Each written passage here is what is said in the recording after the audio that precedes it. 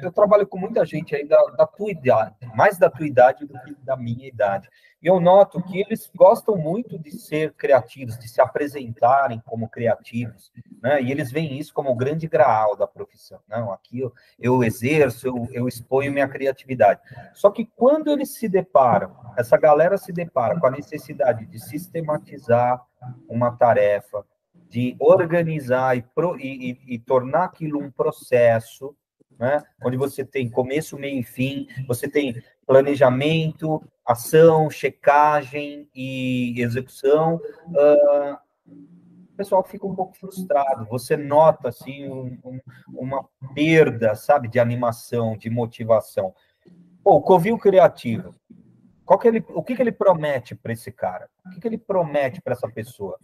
Essa, essa empolgação, essa motivação vai permanecer? Embora o que me parece aí que você está querendo ensinar também é sistematização e processo, não?